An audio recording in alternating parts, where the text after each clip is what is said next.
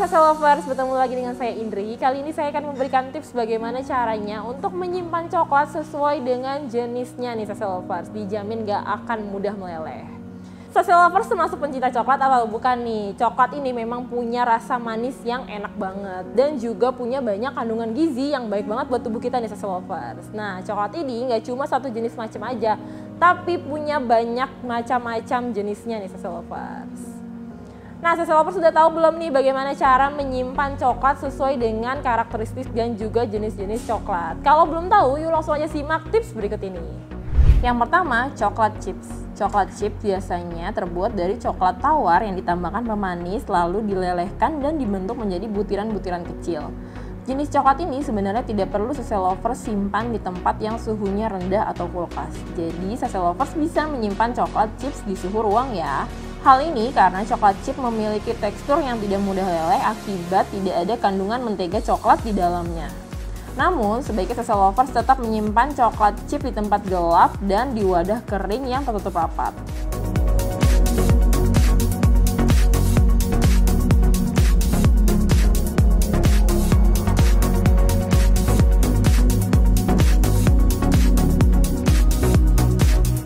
Yang kedua, coklat bubuk.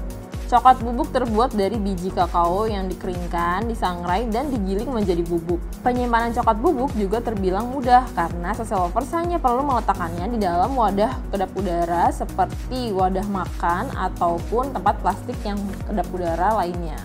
Hindari meletakkan coklat bubuk di dalam kulkas ya seselovers, mirip dengan coklat chips. Coklat bubuk juga sebaiknya disimpan di suhu ruang dan tempat yang tidak terlalu terang. Cara ini dilakukan supaya coklat bubuk tidak lembab dan tidak menggumpal atau tidak berjamur.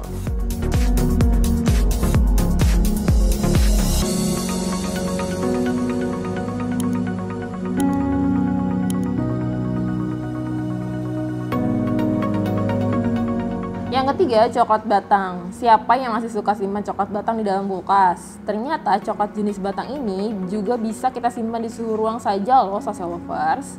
Sama seperti jenis coklat sebelumnya, coklat batang juga harus disimpan di wadah tertutup atau plastik ya. Namun, penyimpanan coklat batang ini membutuhkan suhu yang tepat sasa lovers, tidak perlu terlalu dingin ataupun terlalu panas. Dengan begitu, coklat batang bisa disimpan hingga satu tahun lamanya loh.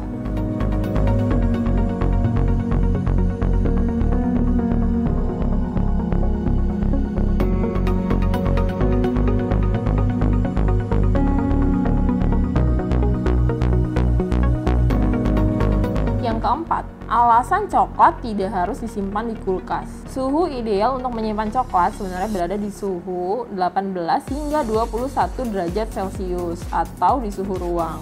Karena itulah coklat tidak harus disimpan di dalam kulkas. Menyimpan coklat di dalam kulkas secara tidak tepat justru bisa membuat coklat mengalami proses kondensasi hingga akhirnya berubah rasa. Tapi jika sisa lovers tetap ingin menyimpannya di dalam kulkas, sebenarnya boleh saja asalkan sisa lovers telah memastikan coklat dibungkus secara rapat dan diletakkan di wadah tertutup. Hal ini juga bertujuan untuk menghindari lemak coklat menyerap bau makanan lain saat berada di dalam kulkas loh.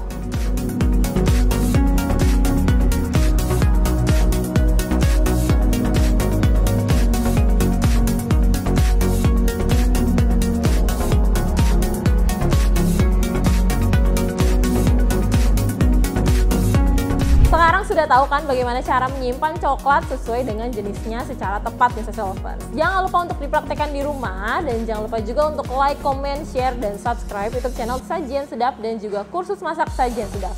Sampai bertemu di tips-tips berikutnya. Bye-bye.